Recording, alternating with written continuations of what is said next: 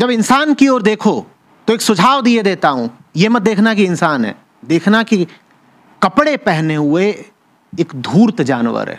सियार तो सियार होता है, रंगा सियार ज़्यादा खतरनाक होता है ना?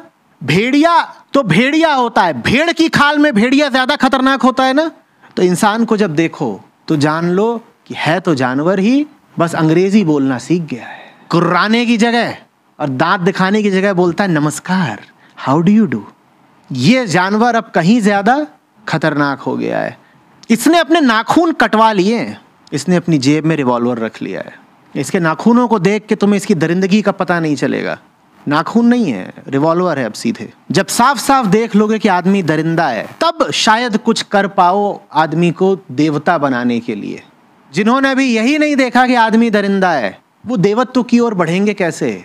आदमी की पशुता से उसके निशंसतम रूप में साक्षात्कार करो। आदमी के भीतर के जंगल की भयावहता को स्पष्ट देखो। उसके बाद ही तुम आदमी को उसकी आत्मा तक पहुँचाने के लिए, पशुता से आज़ाद करने के लिए कुछ कर पाओगे।